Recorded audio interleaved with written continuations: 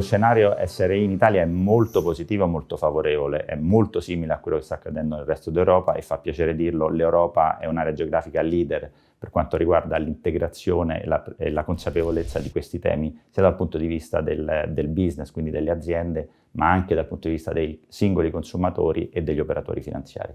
Um, prova di questo è ad esempio il fatto che i fondi ESG e etici di Eurizon nei primi sei mesi del 2019 hanno avuto sottoscrizioni nette del 9%, che sono molto superiori di quella dell'industria nel suo complesso. C'è da dire che Eurizon, grazie al suo impegno nel tempo, che nasce nel 1996 con il primo fondo etico in Italia, è, è un chiaro leader di mercato con una market share del 30% eh, all'interno di questo segmento di fondi.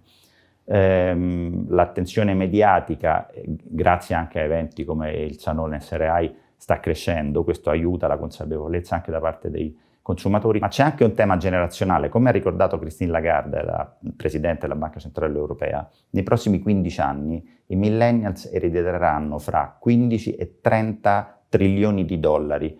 L'attenzione e la consapevolezza dei millennials sui temi della sostenibilità è molto superiore alle generazioni precedenti.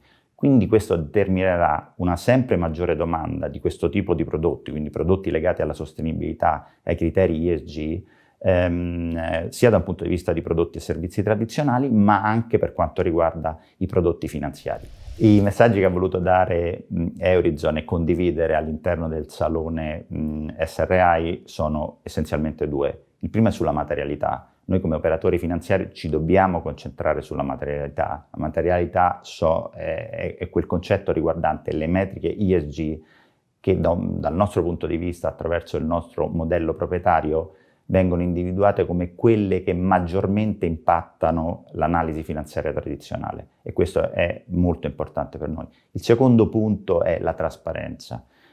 Come operatori finanziari innanzitutto ehm, apprezziamo molto il lavoro che la comunità europea ha fatto attraverso il TEG, il, il gruppo di esperti che si è espresso sia sulla tassonomia che anche sui eh, Green Bond Principle. Questo aiuta la trasparenza ehm, eh, del sistema perché in questo momento è eh, molto importante evitare assolutamente il greenwashing. Il greenwashing in questo momento è pericolosissimo, un momento nel quale la sostenibilità si sta sviluppando in modo molto importante e l'utilizzo della sostenibilità per soli fini di marketing sarebbe gravissimo e ne minerebbe le fondamenta.